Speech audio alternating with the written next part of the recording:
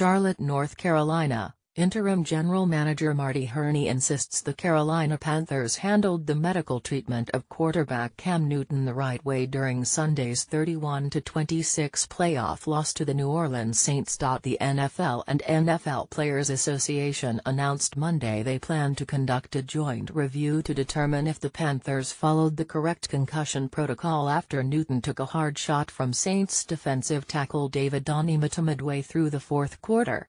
If the concussion protocol was not properly followed the team is subject to discipline, including a $150,000 fine. Newton spent time on the ground after the hit.